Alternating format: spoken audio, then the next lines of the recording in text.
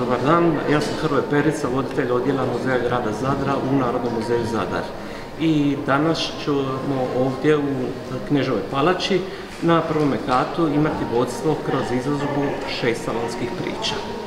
Što to znači? Što će se moći Pa to su u principu ambijenti, povijesni ambijenti koji su složeni kroz jednu izložbu šest salonskih priča u kojima možete vidjeti bogatu ostavštinu građanskog Zadra, Zadra koji je zapravo bio potpuno izgubljen za vrijeme drugog svjetskog rata, s obzirom da znate da je 80% gradske jezgre u stvari nastradalo za vrijeme, e, za vrijeme drugog svjetskog rata, tako da su zapravo ovo samo ostaci onoga bogatog inventara koji se nekada nalazio po zadarskim kućama, po zadarskim palačama. Ja sam Ivica Mitrović iz zavičanog kluba Janko Mitrović iz Zelegrada. Evo, poštovani Ivica, što je to ispred nas? Evo, ovo je naše tradicionalno bukovačko jelo, bukovački pristac. E, to je kolač od amina koji mi nastavimo promovirati, vratiti mu puni sjaj kao što je nekad imao. I je li popularan?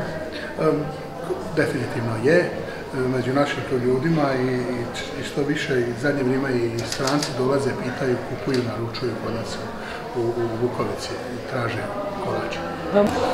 Vesna Sabolić, ja sam vede ravnateljica Narodnog muzeja Evo, poštovana Vesna, što mi se ovdje danas vidimo da je bogat program, ima nekoliko e, šetnje, stručno vodstvo, tu je i prisnaca, možda nešto o danu. E, dakle, večer u muzeju je samo jedan mali dio programa s kojim se Narodni muzej Zadar priključuje programu proslave Dana pobjede, Dana domovinske zahvalnosti hrvatskih branitelja.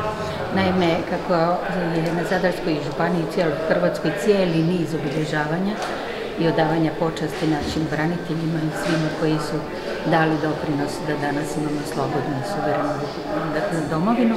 Mi smo ponudili danas građanima da mogu besplatno obići Narodni muzej Zadar, vidjeti sve naše izložbe i naravno družiti se s nama u jednom lijepom okruženju.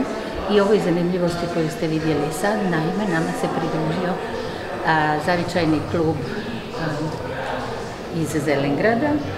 E, ponudit će naravno degustaciju prisnaca autohtonog jela koji će, nadamo se, biti uskoro zaštićen kao nematerijalna kulturna baština, odnosno način priprave.